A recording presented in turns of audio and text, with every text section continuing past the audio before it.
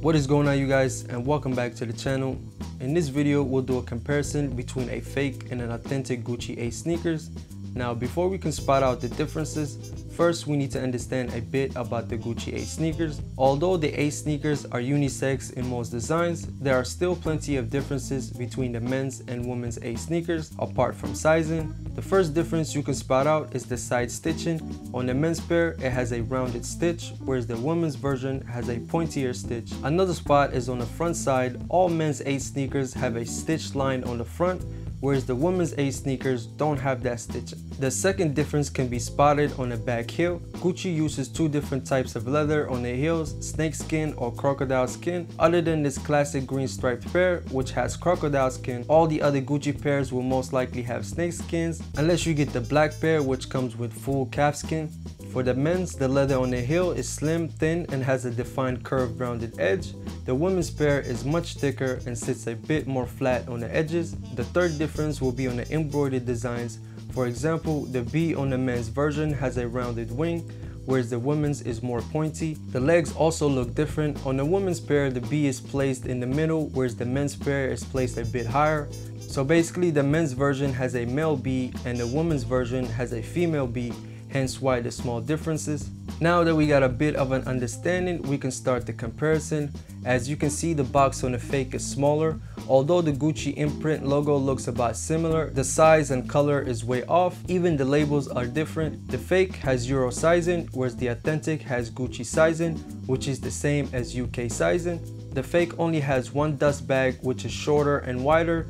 The fabric on the fake feels rough compared to the authentic. First noticeable difference that you can always spot out on the fakes is the color of the leather on the heel. The authentic is dark green and the fake is light green. One of the easiest tells is the heel. On the fakes, they always mess it up. For some reason, they never get it right.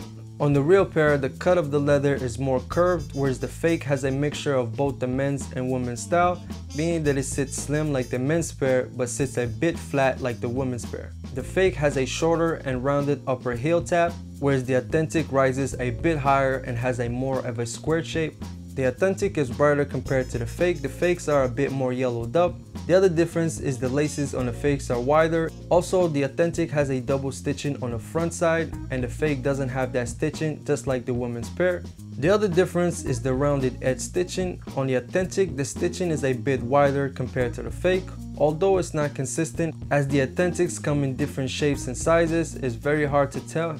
Without a comparison, you can't really depend on the stitching apart from distinguishing if it's a men's or a woman's pair. Under the insole, the Gucci web on the fake is more bold, whereas the authentic looks more faded out. On the authentic, the double G's web has lines coming out both ends of the letter G, whereas the fake ends only on one side. The inner stitching looks about the same. I mean, surprisingly, the fake is stitched everywhere the authentic is. And weirdly, for a made in Italy, it has a Brooklyn stamp on the back. Being that I purchased these directly from Gucci.com, I know they're not a fake, but having a Brooklyn stamp on the back is a bit weird. On the bottom sole, the design looks exactly identical. I couldn't spot out any differences apart from the yellow color on the fakes. The Gucci stamp logo looks better on the authentic, but you can't really tell without a comparison. The Gucci web on the fakes looks very similar to the authentic in color. I would say this is the closest perfect copy on the fake. Now when it comes to sizing, Gucci makes it more confusing than it needs to be. They recommend you to size down as their shoes run big, which does make sense because their sizing and their size chart doesn't match. Gucci sizing is the same as UK sizing. In all other Italian shoes, a size 41 and a half is 8 and a half US or a 7 and a half UK. Gucci has it all mixed up for an Italian brand, a size 7.5 UK is a size 8 US, not 8.5, but still a 41.5 in Euro sizing. Notice that the UK and Euro sizing is the same as other Italian brands, but the US conversion is where they differ. So to sum up this video, are the Gucci Ace sneakers worth it? I would say it depends on the buyer's needs. If you want a logo to show off, then the Aces are for you. But if you're looking for a good quality pair that will last you many years, then no. Buying a Gucci A sneakers, you should understand that you're flat out paying for just the logo. And if you have that understanding prior to purchasing and know that you're buying the logo and not the quality, you'll be satisfied. Now, the reason why I say they're not worth it, because the leather and the build is nowhere near the price tag, the bottom soles don't have a Goodyear welt or a Blake stitch, it's glued on and not replaceable. So no matter how well you treat the leather, you can't prevent the sole from rubbing out. In fact, Gucci employees will tell you that the Aces are only meant to last around two years.